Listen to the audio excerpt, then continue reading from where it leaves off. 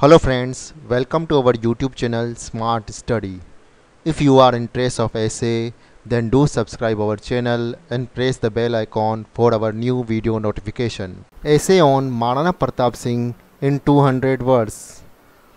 Maharana Pratap Singh was one of the bravest kings of Mewar. He is famous in Indian history for successfully fighting against the army of the great Mughal Emperor Akbar. Maharana Pratap was a Rajput. He was the son of the great Maharana Uday Singh, who was the founder of the city of Udaipur. He was born on 9th May 1540.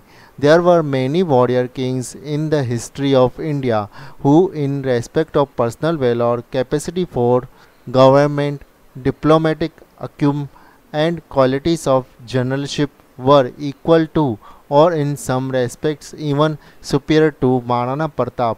But the subsequent generations have accorded special honor to Maharana Pratap. The sole reason of this was his refusal to submit to Akbar on the ground that bartering away one's liberty to secure any honor is unworthy of a self respecting person.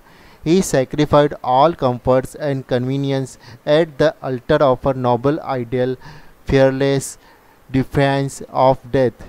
He refused to be caught down by an apparently invisible power of the enemy.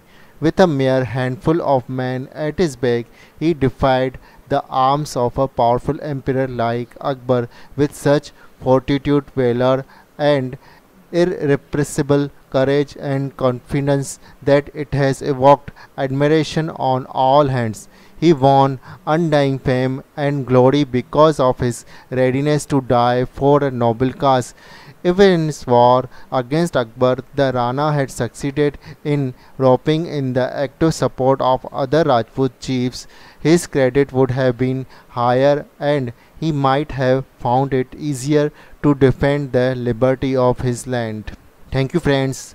Please like, share the video if you like it and comment in comment section if you want to give any suggestion and please subscribe our channel because we brings here because we bring here this type of videos like essay application and much more for study. Thank you